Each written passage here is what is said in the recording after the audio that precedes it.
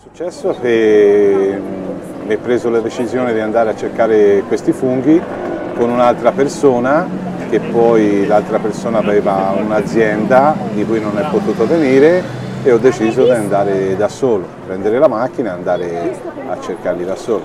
Quando sono arrivato in via Scopeti ho deciso di mettere la macchina dentro il bosco e dentro il bosco c'era una tenda e una golfe bianca come avevo io diciamo precisa che ho deciso di metterla lì perché, e lasciarla aperta proprio accanto a loro perché la macchina avrei, avrei detto sarebbe stata sicura senza che nessuno la toccasse essendoci altre persone. C'era questa tenda sulla sinistra la macchina era di fronte a me eh, parcheggiata con il muso come uscire dal, dallo stradello. Io ho parcheggiato proprio accanto, diciamo, proprio accanto alla sua. Era uguale identica alla mia, solita golf bianca, solito modello, solito tutto.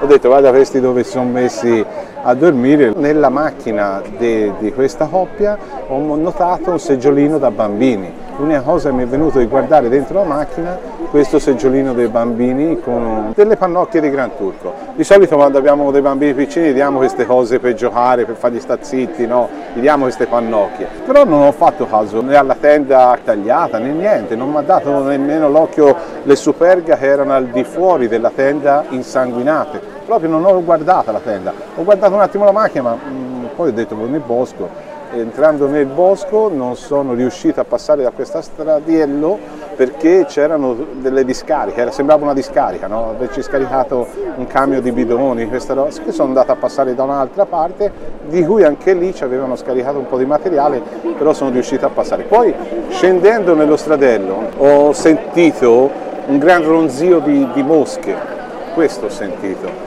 e mi ha portato a dire ma nello stradello così queste mosche cosa hanno buttato? Un animale, no? E io pensavo una cosa così, perché c'è questo? Ma era uno sciame enorme e mi è venuto ad andare a vedere, la curiosità a volte, siamo, siamo così, si va a, curiosare cose che proprio... Quanti anni aveva lei? Io avevo 18 anni, 18 anni, 85-18 anni. Andando a, a, vedere cosa era la curiosità che era più forte di te, andare a vedere, mi sono accorto di questo corpo di questa persona che era stata buttata lì o forse ammazzata lì e poi ricoperta con questi bidoni di vernice, eh, questo perché il problema era stato sgozzato, era stato insomma... Ma si vedeva qualcosa, si vedeva i piedi, si vedeva il busto, no, si vedeva il corpo schiena. nudo tagliato, tagliato, si vedeva questo corpo tagliato. Allora io cosa ho fatto? Sono tornato indietro e ho guardato allora meglio la macchina, ho guardato meglio la tenda e lì mi sono accorto che la tenda era stata tagliata con un set, un coltello e poi c'era questa superga fuori con i piedi insanguinate. Però per me era un litigio di coppia, non che pensavo al mostro, era un litigio fra questa coppia e omicidio, ammazzati loro, ecco. Però non ho pensato tanto a loro, ma ho pensato ai seggiolini del bambino. Ho detto qui c'è un bambino che dove sarà? Sarà scappato? Sarà nel bosco? Sarà qui? sarà, dove, cosa pensi? Non pensi mica a loro, loro sono morti ormai, sono lì, non è che poi, però il bambino... Fece caso magari a, dell'odore che si, non si sentiva? No, qualche... non si sentiva odore, si sentiva queste mosche, ma erano tante. talmente tante che è uno sciame enorme di mosche perché, perché? perché c'era il sangue c'era il sangue e portava, ma verso le scarpe delle superghe che erano insanguinate non c'erano le mosche, ma invece sui corpi sì, perché era stato tagliato. Questo. La decisione fu di, di non dire niente a nessuno, eh, lo dico chiaro, non è che perché la paura era più che eri indagato te che, che, che loro, ti ho detto quello che è successo, però io pensavo sempre, non lo dico, ma il bambino dove sarà? Questo bambino, perché è un bambino piccino, se giro nel bosco è scappato, quella cosa, quell'altra. Paura era tanta, te lo dico, ho preso la macchina e sono venuto via. Sono venuto via, ho detto non dico nulla a nessuno. Poi sono arrivato a casa, logicamente eri bianco praticamente perché veramente ce l'avevi, insomma, vedere queste cose a 18 anni è una cosa, e poi ti ho detto non pensando ai mostro io, non pensando. Che dopo il mio babbo mi disse, ma che ti ha fatto? Tu sei bianco, ha paura, poi un resto glielo dissi, glielo dissi, vabbè, si chiamò, si chiamò la caserma, c'era il maresciallo, c'era rodato all'epoca, non ricordo, e mi disse vabbè andiamo giù, andiamo a vedere. E lei tornò sulla piazzola? Io tornai, non tornai sulla piazzola, rimasi sulla strada perché ce l'avevo sempre, io lo volevo rivedere, che io dalla strada gli indicai dove erano i corpi, uno era poi nella tenda, uno era fra i bidoni. Come e... faceva a sapere che nella tenda c'era un altro corpo? Perché si vedevano i piedi, questi piedi con le superga tutte insanguinate, si vedeva. Che quando arrivarono lassù i carabinieri che videro i primi postoli, di questi mi dissero, disse subito il maresciallo è stato il mostro e da lì allora mi, mi liberai anche un po', capito? Ecco, questo. Mi dispiace per loro ma eh, la liberazione mia fu quella, ecco diciamo.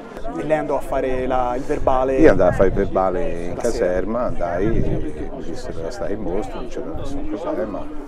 Poi io partii militare dopo due o tre giorni, sì che fu uno scioglimento totale un po', però la, insomma c'è sempre rimasta addosso questa cosa. Ecco. Lei c'era già stato in questa piazzola? Aveva... Era la prima volta? No, io ci andavo, scopeti, sai, erano boschi qui vicino per noi, come tanti altri boschi, ci si andava un po' a cercare i funghi, a cercare queste cose. Aveva mai notato la presenza di guardoni, di persone, insomma? No, no, no, no assolutamente ma, ma nemmeno macchine ferme più di tanto, eh, ecco, diciamo, perché poi alla fine lì a 100 metri c'è un ristorante, la baracchina. la baracchina è sempre stata molto attiva come, come ristorazione però macchine anche ferme non l'ho mai notate, sulla strada sì, ma non a volte dentro, dentro le piazzole così, eh, così che... E lei ha sempre vissuto a San Casciano? Sempre a San Casciano. Quindi sì. conosce chiaramente la vita del paese, le persone che lo hanno frequentato sì, negli anni, penso. Sì, e avrà sicuramente sentito parlare di Giancarlo Lotti, Mario Vanni,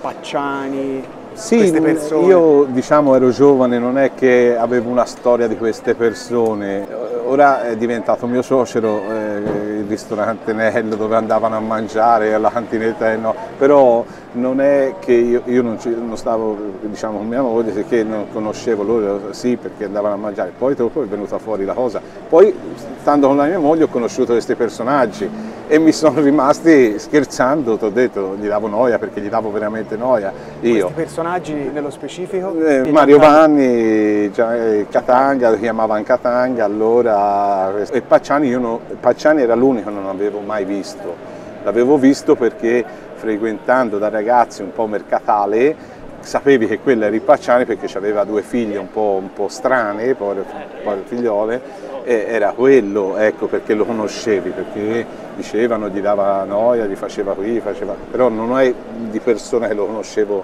invece quest'altri sì, perché ti ho detto ci scherzavo e quando dissero erano in mostro, per me, io ho detto di bischera a tutti perché dico, vabbè, forse, forse c'è altre cose dietro, perché non è possibile che queste persone abbiano fatto queste cose, ecco, diciamo, erano, ho detto, erano amici di merende, gli chiamavano, no, però non, nulla di, di, particolare, erano compagnie come ci può essere ora, ecco, però. Gente pacifica dice? Non, per, per, me sì, gente molto pacifica. Non, non li ha mai visti eh, arrabbiati per qualche motivo, proprio perché magari erano presi in giro, proprio perché erano... Io sono un rompiscatole, mi diverto con le persone un po' più anziane a dare noia anche oggi, o tuttora a dargli noia e tutto, però se non gli dai noia vedi la persona anziana è lei che ti viene a cercare a volte e dire no ma non mi dici nulla oggi, però è, erano scherzi che si faceva, io gli facevo, anzi a Katanga specialmente era uno che lui faceva karate, mi ricordo qualcosa, sapeva delle arti marziali, diceva lui, poi non l'ha mai fatto, però era una persona enorme, sicché anche se non faceva arti marziali ma gli dava uno schiaffo ti avrebbe ammazzato perché aveva delle mani lavorando in una cava lui, sicché, però era scherzoso, non era che si arrabbiava e si cosava poi sai, le persone si finisce mai di imparare a conoscere. Mai comunque sentito parlare di armi, di pistole, di coltelli, di niente? Mai. Mai. Queste cose mai, assolutamente. Le risulta difficile che magari appunto siano stati indagati e anche condannati per i delitti del mostro di Firenze.